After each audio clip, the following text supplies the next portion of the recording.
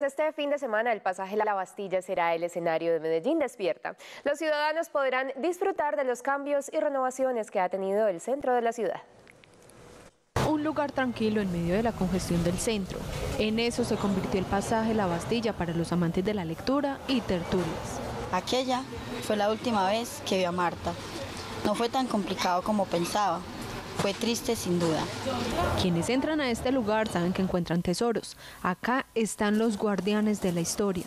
Aquí encuentra la gente libros descatalogados que por uno u otro motivo ya las grandes editoriales no lo sacan.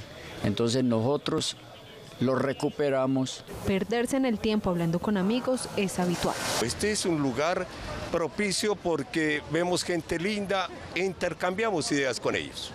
La alcaldía lo entendió, por eso organizó actividades para que todos puedan disfrutar. Tú puedes intercambiar libros nuevos por otro libro nuevo que ellos entreguen.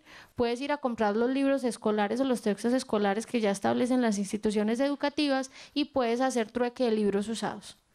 Medellín Despierta será desde las 4 de la tarde hasta las 10 de